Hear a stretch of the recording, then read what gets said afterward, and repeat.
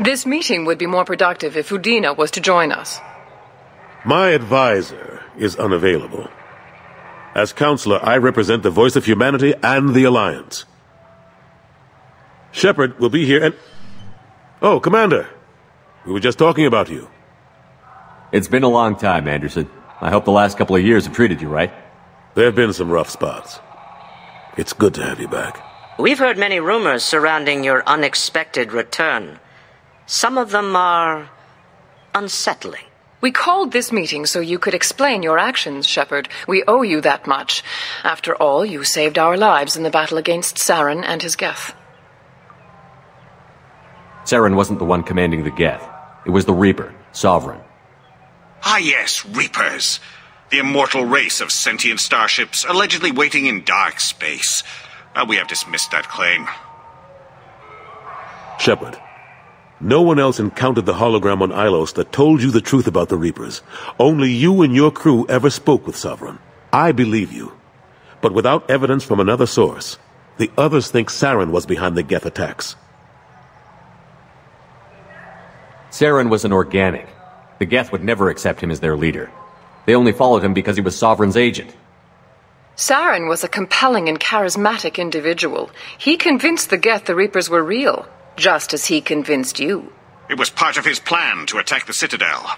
The Reapers are just a myth, one you insist on perpetuating. We believe that you believe it, but that doesn't make it true. Go back to Ilos and talk to Vigil. Or just look at what's left of Sovereign. It's obvious the technology is more advanced than ours. The hologram on Ilos is no longer functional, and we have found nothing to suggest that Sovereign was not a Geth creation. The Geth are capable of remarkable technological achievements. This is probably why Saren recruited them. This Reaper theory proves just how fragile your mental state is. You have been manipulated. By Cerberus, and before them, by Saren. I kept Saren from conquering the Citadel. I sacrificed human lives to save this council. We are in a difficult position, Shepard. You are working for Cerberus, an avowed enemy of the Council. This is treason, a capital offense. That's too far. Shepard is a hero. I'm on this council too, and I won't let this whitewash continue. Maybe there is a compromise, not a public acknowledgement given your ties, but something to show peripheral support. Shepard, if you keep a low profile and restrict your operations to the Terminus systems, the Council is willing to offer you reinstatement as a Spectre. What does that mean? Will I need to start filing reports? That won't be necessary. This is a show of good faith on our part. We cannot become involved in an investigation regarding the missing colonies in the Terminus systems, but Spectre reinstatement shows our support of you personally. I accept your offer. Good luck with your investigation, Shepard. We hope for a quick resolution and a quick end to your relationship with Cerberus.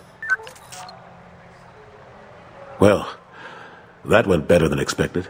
You realize the Council's offer is just symbolic. They won't actually do anything. Even if they don't help, I might as well stay on good terms. True enough. Don't worry about the Council or the Alliance. I'll find some way to keep them off your back. Shouldn't be too hard. As long as you keep to the Terminus systems. Anderson, we need to talk about... Shepard. What are you doing here? Not used to seeing ghosts, Udina? I'd heard you were alive, of course, but I didn't expect to see you back on the Citadel. I invited Shepard here to speak with the Council. We just finished our meeting. You what? Councilor, do the words political shitstorm mean anything to you? I'm here because the fate of humanity is at stake. That's what you should care about.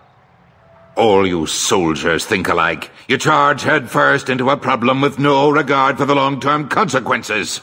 I make the decisions around here, Udina. Your job is to clean up the mess I leave behind. Understand? Of course, Councilor. Given the potential size of this one, I'd better get started. I'll be in my office. Sorry about that. Udina's never gotten over the fact that I got the council position instead of him. Sometimes I need to put him in his place. What do you keep him around for? He's got his uses. And if you want something done on the Citadel, he knows who can make it happen. Plus, He's always happy to attend all those formal diplomatic functions I can't be bothered with. How long did it take to get this place back up to speed after the battle? Still counting. The main areas of commerce and the most populated wards are complete. But estimates for total restoration are sitting around five years. The Keepers always surprise us, though. It's like our repairs are annoying. We'll put up an ugly new bulkhead, and in a few days, they've made it seamless. We never really thought of them as heavy lifters, and I have no idea where they get the resources. But we'd never get done without them. I'm surprised no one can tell Sovereign isn't Geth technology. Didn't they examine the wreckage?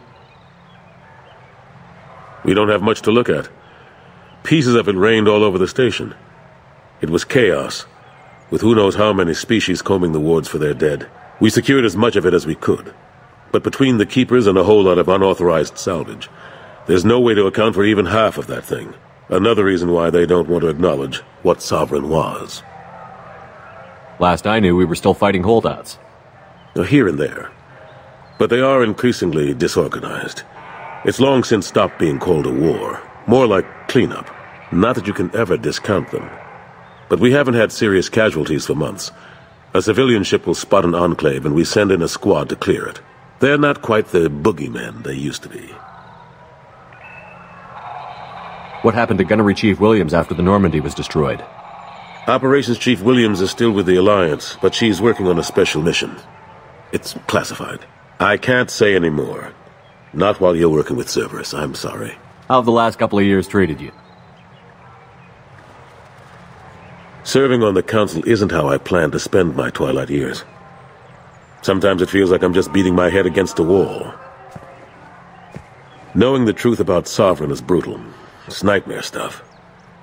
I can't blame others for not wanting to believe it, but I know how important it is. So I keep trying. Fighting the good fight, right? Forget Udina and the Council. Join my crew and help me stop the Collectors. I'm too old to go racing across the galaxy. Much as I complain, I've got an important job to do here. The front line. That's got to be yours. I better go. Of course, Shepard, I understand.